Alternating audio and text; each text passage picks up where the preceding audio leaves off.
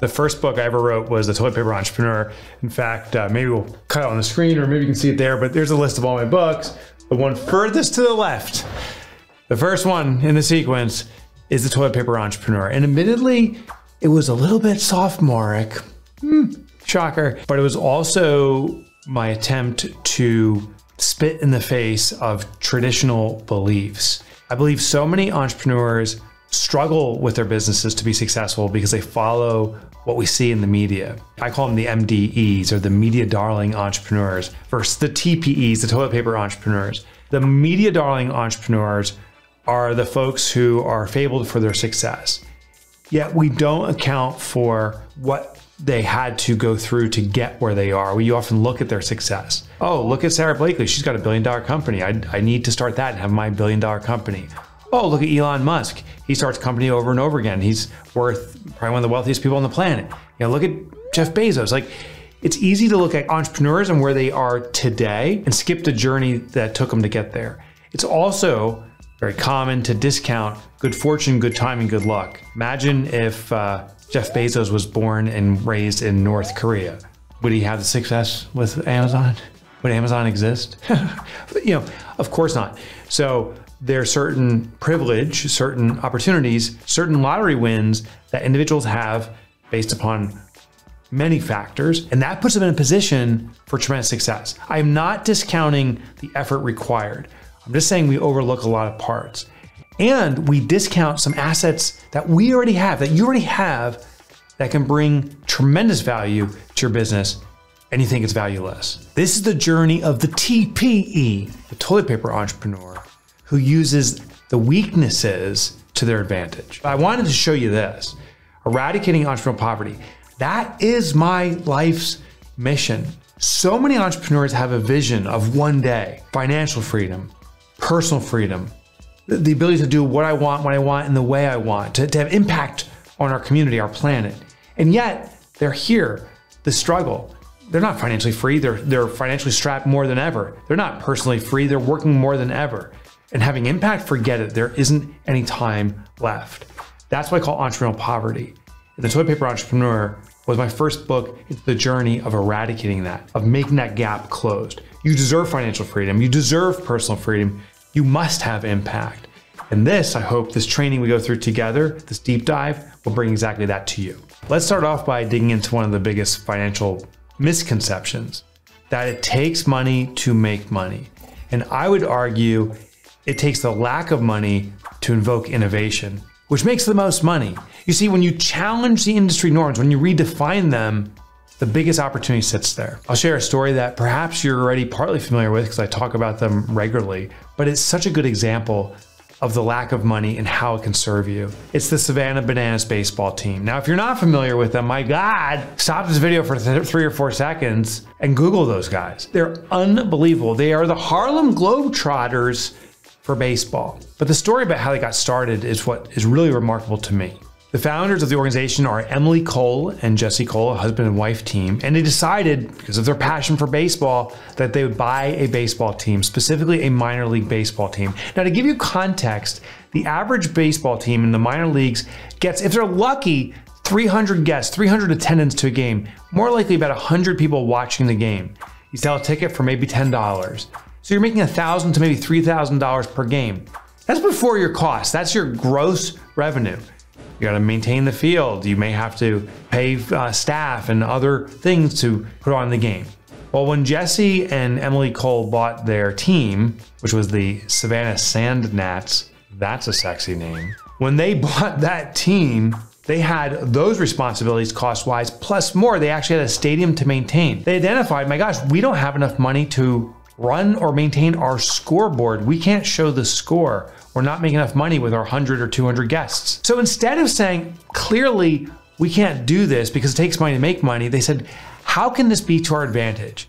They said, financially, we can't do what everyone else is doing. What can we do that will cost nothing? What they did is they invited the audience to become the participants. They would invite fans down from the stands to show the score between innings.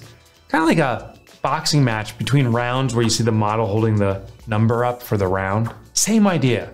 And the audience was engaged. They decided to start a cheer squad that cost nothing called the Grandma Bananas. You had to be 80 years or older. Teeth were optional. and people went crazy over it. I was so grateful that I threw out the opening pitch back, I think it was in 2020, maybe it's 2019, for a Savannah Bananas baseball game. Ah, I gotta find that baseball bat I have because they signed the bat, not the team, but the entire staff. Because these are the people that put on the event. And uh, right before I threw out the opening pitch, the baseball that was my hand was swapped with a roll of toilet paper. And I threw out a roll of toilet paper as the opening pitch. And that's just where the antics started. The whole event was packed with the fans engaged in the audience. When I talk about fans, there was 5,000 people in the audience. In fact, the Savannah Bananas has sold out every single season for the last six consecutive seasons. They are making a mint. Actually, they started a world tour. They performed recently in Fenway with 33,000 fans there. They've redefined baseball because they didn't have the money. As a toilet paper entrepreneur, as an innovative entrepreneur, scrappiness is your biggest advantage. It redefines the industry. One last tidbit about the Savannah Bananas. As they were going through this experience, as they were redefining baseball, as they became the Harlem Globetrotters of baseball, the pundits, the established teams in the minor league were making fun of them. This is outrageous. This is so dumb. No one will ever come to this. As they had their paltry 100 to 200 guests attend their games. And the Savannah Bananas has 5,000 plus Try to get a ticket to a game, forget it. I think a ticket, if you can buy it directly, is maybe 20 or $30 a game. It's very affordable for most people, but they're sold out instantly. Scalpers are selling them for over $1,000 a game now. That's how valuable that brand has become because they challenge the industry norms due to the lack of money. If you have a lack of money, it's your advantage. There's one more story I want to share. It's about Bryn Davis. Bryn, it's a friend of mine from the past. He started a company called Bryn and Danes. It was healthy fast food.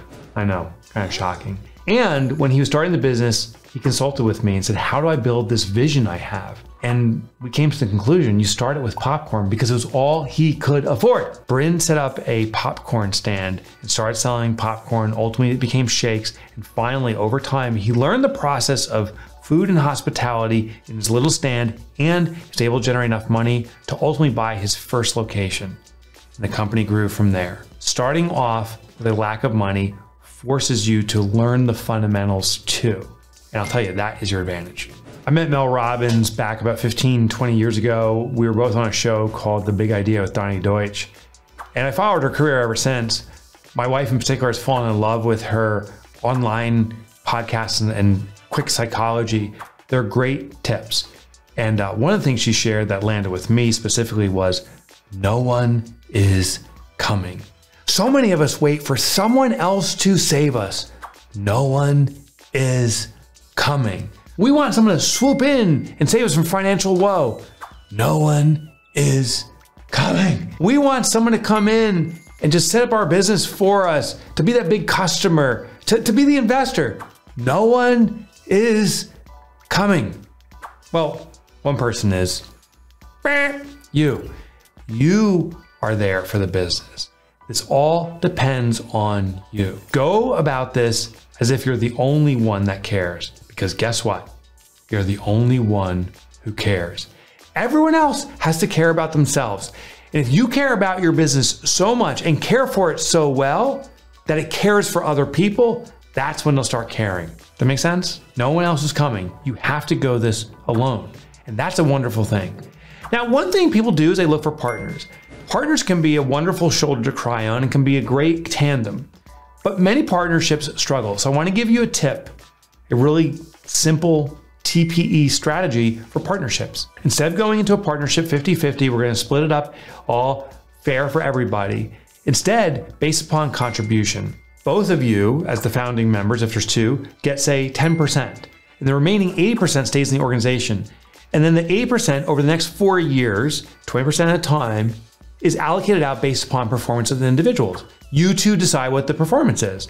Maybe one person is responsible for sales. Here's the sales expectations. One part person is responsible for product development. That's the expectations. At the end of each year, did you meet the metrics or not? If you fall short, you get less equity. If you beat it, you get more equity. And you keep dividing that up until the end of four years. You see, anyone can be enthusiastic for the short period, anyone can fake it for 90 days, but there's a certain point where we default to who we naturally are and how we perform. And isn't a shame after three to four years where partnerships collapse because one partner is doing everything and the other one isn't pulling their weight? Well, this could have been prevented with this partnership agreement. Now remember, no one is coming except for you. You have to be all in on this. You have to care for it more than anything in the world to give it life, your business. So, if no one cares as much as you and you gotta give it life, how do you go about it? Step one, you start earlier than you think you should. And that sounds also counterintuitive. Shouldn't we? We have to have the right education. We need to know what we're doing. No, no. Sell the tell. So, this is the technique when starting a business. A lot of business owners invest lot of resources and money in getting a business established, and they don't even know if the market wants it. I had a friend who started a meatball business that was unfortunately a total calamity because he didn't know if the market really wanted it first and he invested all this money in and it didn't work. So, how do you sell the tell? This is where you go to prospective consumers and say, Hey, I have a concept I'm gonna be rolling out. This is what I'm gonna be doing. And when I do this, I expect to charge a certain dollar amount. I expect to have certain offering parameters. I expect XYZ. Lay it out and then say, I plan to do this. Is this something you're interested in? Also, if you can, specify the price you're going to charge. I anticipate I would charge $1,000 for this, but are you interested in purchasing it? And if you are, would you be willing to do it now for a discount? What's so interesting is if you ask people, do you like the idea? What do you think? Everyone will love it. That doesn't matter, particularly your friends. Your friends are liars, okay? They're trying to support you emotionally, but they don't want it. The real question is wallets. Are you willing to open your wallet? So I have a phrase don't trust people's words, trust their wallets.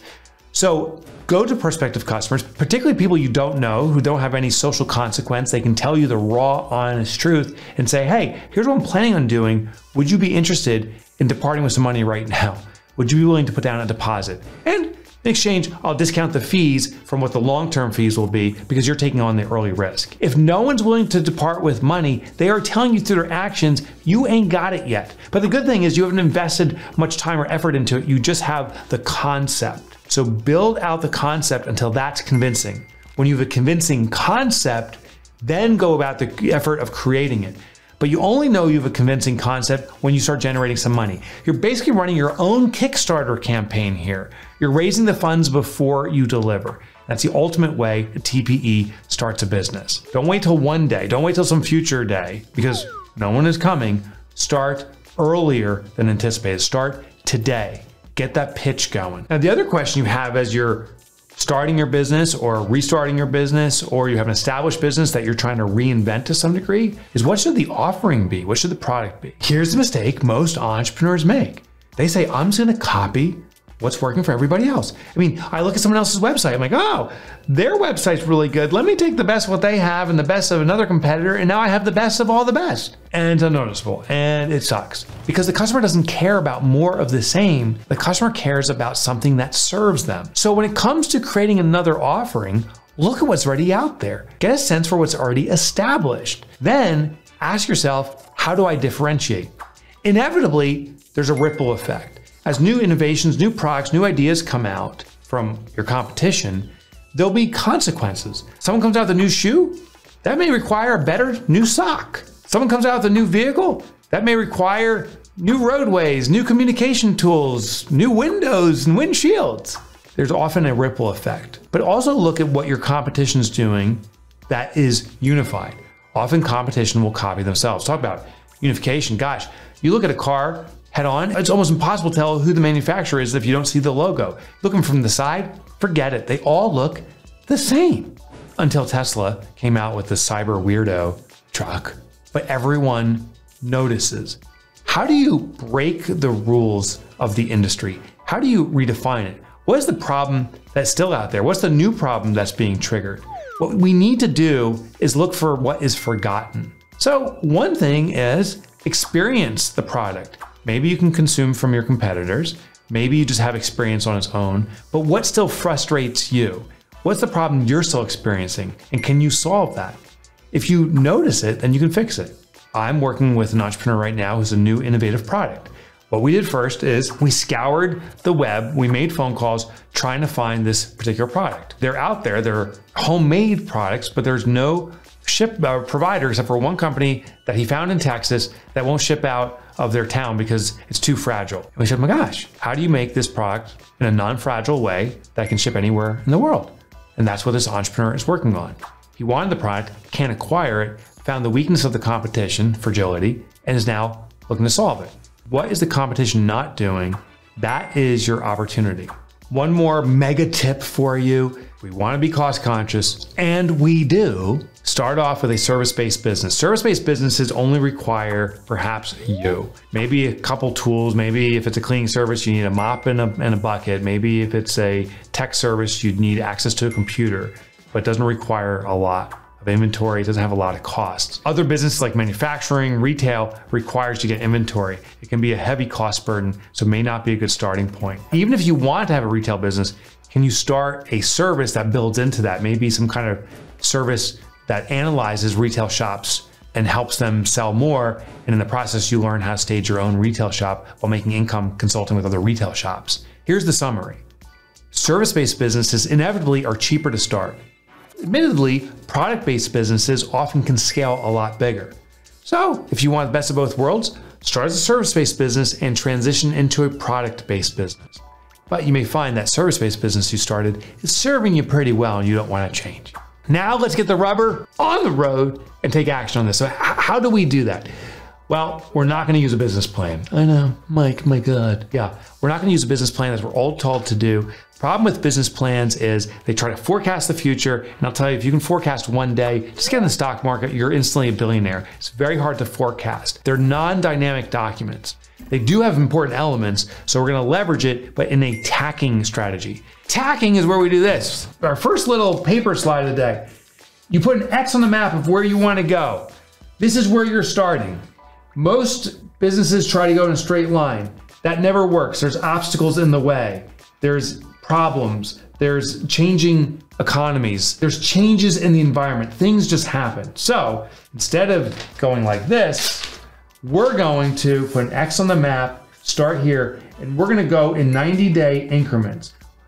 Now, we're not going to go directly toward the target. We're going to leverage what the economy is like, who's the competition, what are the obstacles in the way that we must avoid. Then we're going to go for another 90 days and we're going to avoid obstacles and blockages and so forth. And we're going to go for 90 days and we're going to zigzag our way there. And your pattern to get there may be something like this. This is what sailors use.